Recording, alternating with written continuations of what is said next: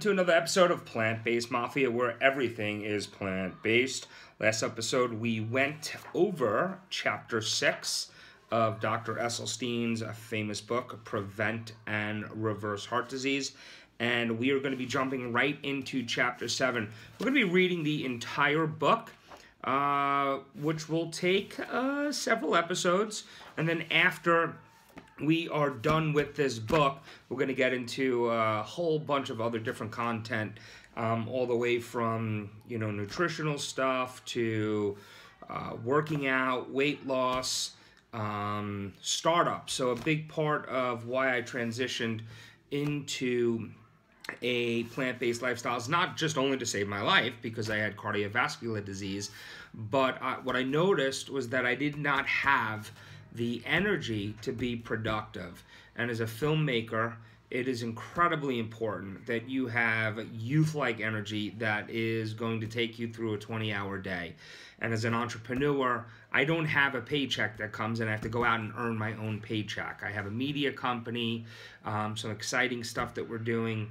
Uh, I have a film festival that we're building, an intellectual properties company, we're building this fantastic new app that's going to revolutionize the relationship between consumers and companies and advertisers. So, I mean, I'm working 20 hour days and just don't have the energy to do that if you're pounding cheesesteaks and milkshakes and burgers and pizza. It's just impossible. So, there's no way that I'd be able to be productive living on a typical unhealthy, toxic American diet. It is just impossible. And honestly, at 43 years old, I've got a, lot of years of productivity left in me, and I really want to, you know, I want to be able to maximize those years. And there's no way that I can do that eating a typical toxic American diet. That's why we started Plant Based Mafia. It's not just about nutrition, it's not just about heart disease and weight loss. It's about living the best possible you that you could live, whatever that might be. For me, it's being a successful entrepreneur, a filmmaker, and doing all these wonderful things. And the foundation of that starts with my nutrition and that's why we're doing what we're doing so it's going to be really cool through the journey that i'm taking is i'm going to be showing everyone who's watching subscribers instagram anyone I'm going to show you how a startup works and how the failures are going to come in and how we're going to overcome those failures. That's going to be super cool. And I'm going to show you from soup to nuts how you take something that's just an idea, you execute it, and you make it super successful. It's a very exciting time, too. I just sold my first film that I produced called Austin Found. Great director, other really fantastic producers were on board and that film was picked up. It's going to be um, going to be doing an awesome red carpet premiere in L.A. It's going to be played at the famous Chinese theater on Hollywood Boulevard. So I only went out to Hollywood a few years ago, and I said I'm going to become a filmmaker with no background and no experience, and I did it, and I was able to execute that. The, for several reasons, but you know, one of them is just getting up and doing, learning, meeting the right people, introducing yourself, and just never taking no for an answer. And I'm, I'm telling you right now, a plant based diet was one of the things that helped me succeed at doing that because it not only did it give me give me energy but it gave me this extra confidence just being able to eat these foods just it had a very very positive effect on my body from a scientific perspective um, so it's that's those are a lot of the things that we're going to be covering, and I hope anyone who's feeling you know kind of down and depressed and sluggish and they need a transition in their life really will consider a plant-based nutritional life switch and really consider taking on that those types of foods. So here we are. We're going to start. We're going to jump into chapter seven. Uh, why didn't anyone tell me? And here we go.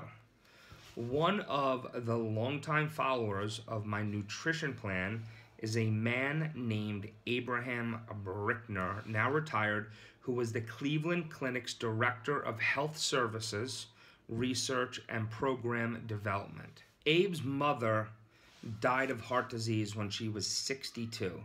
His brother had bypass surgery at the age of 55 and died from his heart disease a decade later. One of Abe's nephews had a heart attack at 45. A second nephew died from a heart attack at 42. Abe had his first bypass at 55 and his second at 65. Although he began to modify his eating habits somewhat after the first surgery, for most of his life, Abe had eaten a high fat diet with steaks from his father's grocery, fried in butter, uh, half a pound of corned beef on a heel of bread, chopped liver with schmaltz, which is pure chicken fat, once a week, and a big plate of waffles after the movies on Sunday nights. Abe, a career healthcare planner and a consumer advocate, had paid considerable attention to health matters over the years. And as he says, when a cholesterol of 250 was normal, I met the standard. When a cholesterol 250 was normal, it is hard to believe, but for decades, it was the conventional wisdom blood levels of cholesterol up to 300 milligrams were perfectly normal. Over the years, the advice from the experts had varied, and consumers of healthcare had been understandably confused about what cholesterol level should be their goal. It had been a constantly moving target. Most recently, national health organizations, the American Heart Association, the National Cholesterol Education Program, and the National Research Council had decreed that serum cholesterol should be below 200 milligrams. These same organizations suggested limiting fat consumption to no more than 30% of the calories consumed each day. But that level of fat consumption has never been shown to arrest or reverse coronary artery disease. Quite contrary, research has shown that while cutting fat consumption to the level from even higher levels may help slow the disease's progress, the disease nonetheless will progress. The truth is that the medical profession knows better. We have known for a long time that one out of every four pers- persons who have who have heart attacks had a blood cholesterol level between 180 and 210. And we know that more than a third of those in the Framingham Heart Study who had heart disease showed cholesterol levels between 150 and 200 milligrams. That means that millions of Americans who are doing the best they can to meet the standards set by national health officials are, in spite of their efforts, getting sick. Here's a clear, plain English translation of what our government and the national health agencies have done. They have chosen a safe cholesterol level for the public that virtually guarantees if everyone actually met their stated goal that every year more than 1.2 million Americans will suffer heart attacks and that's millions more will watch the inevitable progression of their coronary artery disease. What is going on here? If the evidence is so clear that the goal set for cholesterol levels should be set below 150, why don't the national experts and policymakers tell us that? When we ask representatives of our government to establish safe levels of bacteria in our drinking water, they do not select a level at which a substantial proportion of the population will contract cholera, and dysentery. Instead, they set a level that guarantees none of us will be infected. The case is similar with official standards for our contaminants. We do not choose a level of which 20% of our children would develop lead induced brain disease from lead in the water. We choose a level that ensures the safety of everyone. So, why is the policy so different when it comes to levels of cholesterol in the blood? The answer lies in a complex blend of culture, habit, taste, and other factors, including, frankly, a somewhat condescending attitude among medical experts towards the lay public. Let's look at the facts.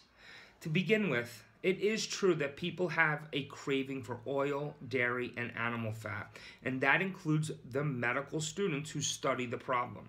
We are immersed in an environment of toxic food and is attractive to tasteful, reasonable priced, and heavily advertised. And there are powerful commercial interests that want no change in the American diet. Over the years, there have been a number of attempts to bring nutritional recommendations more into line with what the science actually shows. In every case, intensive lobbying by industry, the producers, purveyors of dairy products, meat, and poultry, has caused those who set the standards to pull their punches. To put it quite simply, the fox is in the henhouse. Nowhere is this more apparent than at the United States Department of Agriculture, which since the late 70s has been issuing the government's official guideline on what American citizens should be eating.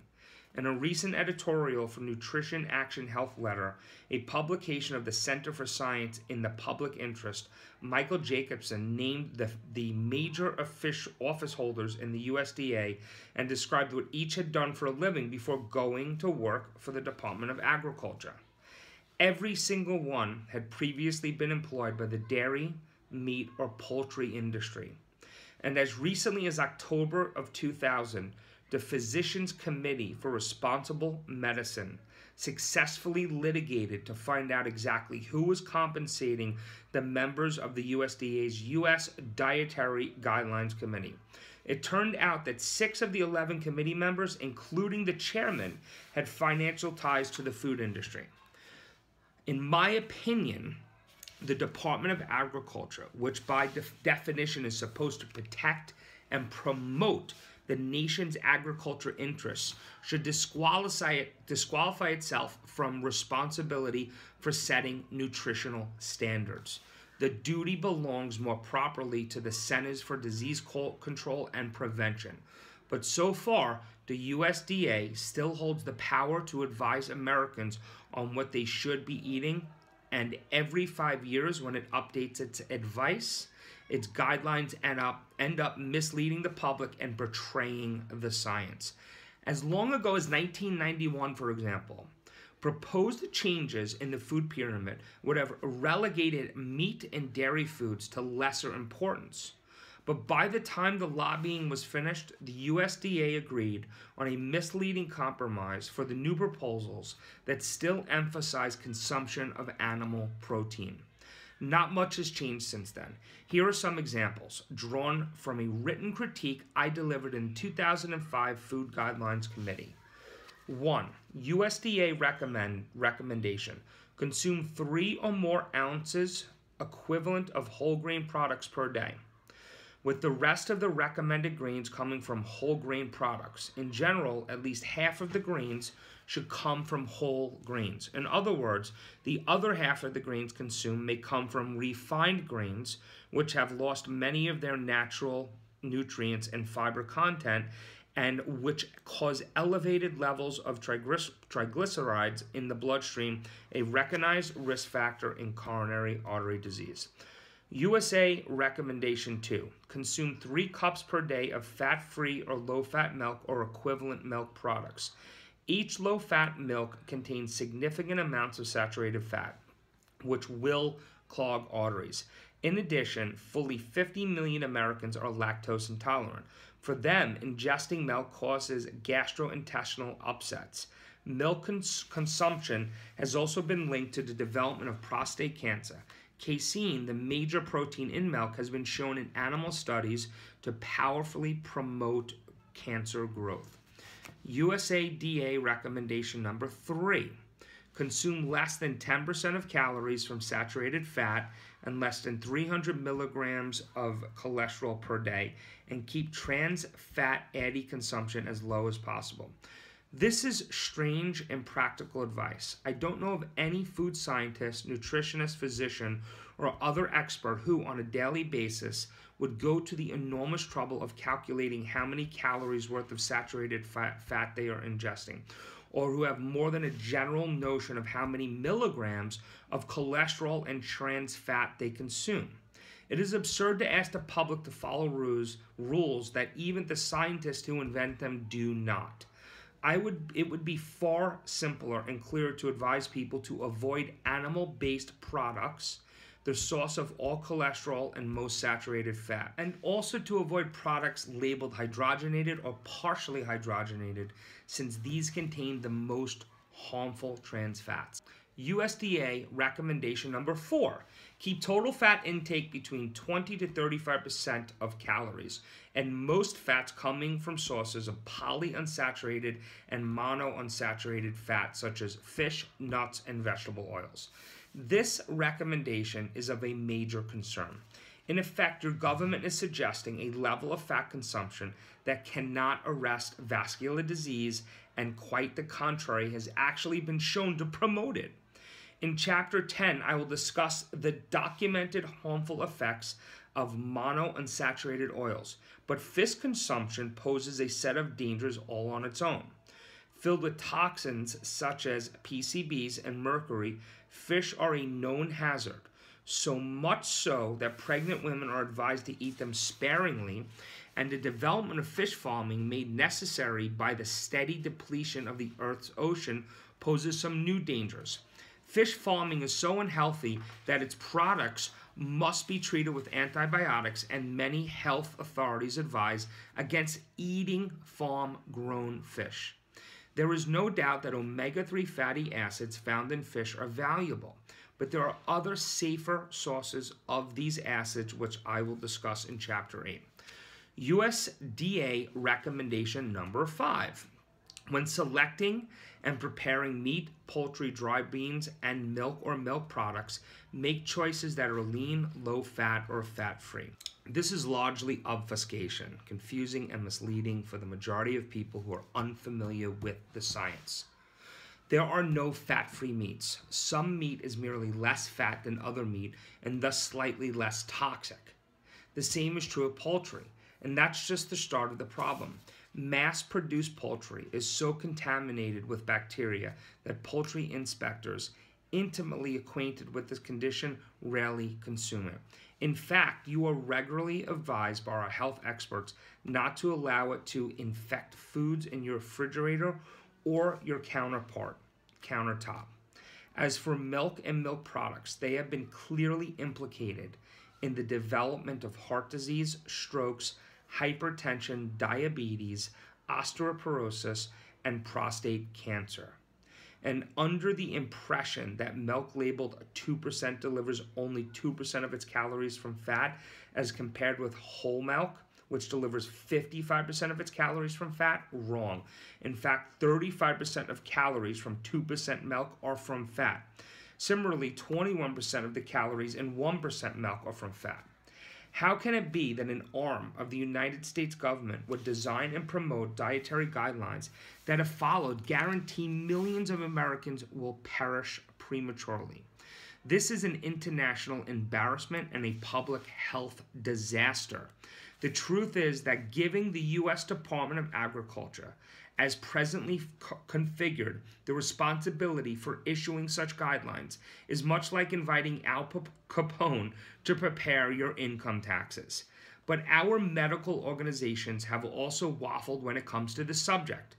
Although they have been advising us for well over a decade that dairy products, oil, and animal fat are bad for us, and although it becomes clearer with every passing year that vascular disease, cancer, and other illnesses are the direct result of toxic Western diet, these organizations just cannot bring themselves to radically change nutritional recommendations. Instead, the experts keep suggesting that we reduce consumption of animal and dairy fat, that we eat red meat only once or twice a week, for example, and we remove the skin from chicken.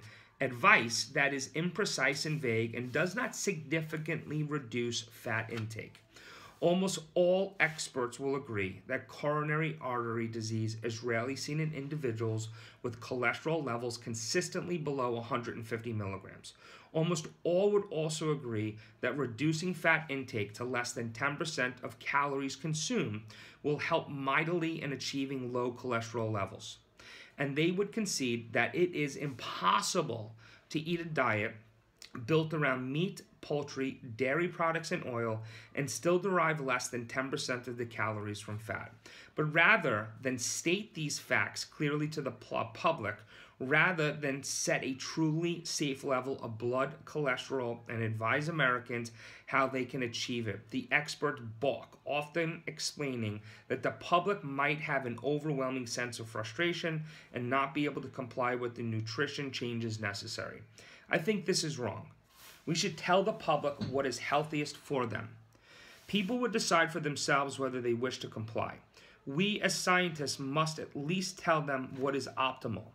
In 1991, I assembled a blue ribbon faculty, nationally known and respected for their expertise in cardiology, nutrition, pathology, pediatrics, epidemiology, and public health for the first national conference on lipids in the elimination and prevention of coronary artery disease. During these two days of presentations in Tucson, Arizona, these scientists were challenged to develop what they felt constituted the optimal diet for health, one least likely to develop coronary artery disease. I asked them to answer the question What do you tell patients who say, I'll do anything, but I never want to have heart disease, or I have had a heart attack and I never want another one? One panelist replied, Have them eat beans, beans, and more beans. Another professor, T. Colin Campbell of Cornell, one of the world's most respected nutritionists and co author of the China study, said most clearly and forcibly what other faculty members were feeling. If we are reasonably sure of what our data from these studies are telling us, then we must be reticent about recommending a diet which we know is safe and healthy. Scientists can no longer take the attitude that the public cannot benefit from the information they are not ready for. We must have the integrity to tell them the truth and let them decide what to do with it. We cannot force them to follow the guidelines we recommend, but we can give them these guidelines and then let them decide, which is precisely what they don't do. And ironically, I've heard that from cardiologists I've met before that people most likely won't stick to these diets, so they have to just stuff them with medication. And that's unfortunate. And I think if the trend was strong enough, and if the movement was strong enough, and everyone was doing it, people tend to follow. And I don't think the trend is strong enough. I don't think it's in the public spotlight the way that it should be. And I think if it was, you'd see far more people starting to follow. Now, I personally, back to the book, I personally have great faith in the public. We must tell them a diet of roots, stems, seeds, flowers, fruits, and leaves is the healthiest diet and the only diet we can promote, endorse, and recommend. Following the conference, I prepared a summary that was ultimately approved by 10 of the 13 faculty participants. The following four paragraphs reveal the strong stand of the acknowledged experts and might serve as a model for more useful nutritional advice for Americans than what the US government and national health organizations currently provide. Present governmental and national health organizations guidelines do not provide a maximal opportunity to either arrest or prevent coronary artery disease. Studies demonstrate persons following present guidelines will have increased rates of disease progression when compared to persons achieving lower serum lipid levels through diet and or lipid lowering drugs. A diet which would achieve superior results in reducing atherosclerosis would be a 10 to 15% fat provided largely by grains, legumes, vegetables, and fruits. This diet offers protection against the common neoplasms of breast, prostate, colon, and ovary cancer. It also lessens the likelihood of developing obesity, hypertension, strokes, and adult onset diabetes. There are no known adverse effects of such a diet when mineral and vitamin contents are adequate. Children and adolescents require major attention to develop early habits of optimal nutrition. Schools should assume a significant leadership role in achieving this goal. Speculation about the degree of public compliance must not influence the accuracy of recommendations. Indisputably, in recommending that Americans convert to plant based nutrition, we would be asking Americans to undertake profound taste transitions. But there are some potential allies in the cause. Professional chefs of the world, those employed by upscale hotels, restaurants, businesses, clubs, and other venues that require food of exquisite taste, texture, variety, and presentation. These chefs are masters of achieving delightful meals no matter what the basic foods. Several years ago, I was invited to speaking about arresting and reversing heart disease at a luncheon meeting of health maintenance organizations directors at the Broadmoor Hotel in Colorado Springs. I agreed to speak on one condition if I could be responsible for the lunch menu. The planners of the HMO convention agreed. After my presentation, one doubting audience member declared that nobody would eat a diet consisting of 10% fat or less. Did you enjoy your lunch? I asked. Yes, it was delicious, he replied. Fine, I answered. You should know that it was 10% fat, which was my requirement of the chef if I were to speak here today. Point made with the help of a master chef. Unfortunately, he may have been an exception. A decade ago, I was asked to make a presentation for a highly respected culinary institute. By the time I arrived, the director had decided that he did not want his chefs in training to hear what I had to say, since it clearly conflicted with what they were being taught. Instead, I gave a thumbnail sketch of my data to a much smaller audience the director and his assistant. A few years later, I was asked to speak at another meeting, the annual National Chefs Convention in Nashville, Tennessee. I presided at a special breakout session with approximately 20 chefs, all of whom had coronary artery disease. They'd been done in by their own cooking. The good news is that the word is spreading. Americans are steadily growing more health conscious, which is true. Since I started my research 20 years ago, there have been a marked increase in the number of experts who believe that nutrition plays a critical role in helping you maintain self safe cholesterol levels and in protecting you from the common killer diseases, especially coronary artery disease. And many laymen come to that understanding on their own. A few years after his bypass surgery, Abe Brickner joined a study of people who had undergone the operation. I began to sense from my reading that something was going on. He says, if 50% of the people go back for a second bypass, I wanted to know what was in store for me. Through the study, Abe had another angiogram, which led to his second bypass surgery when he was 65. But as he says today, if I had the knowledge base I have now, I would not even have had the first bypass. The second surgery provided the, the final flash of insight and self awareness and sent me into the preventive mode. I was ready when Dr. Esselstyn came along.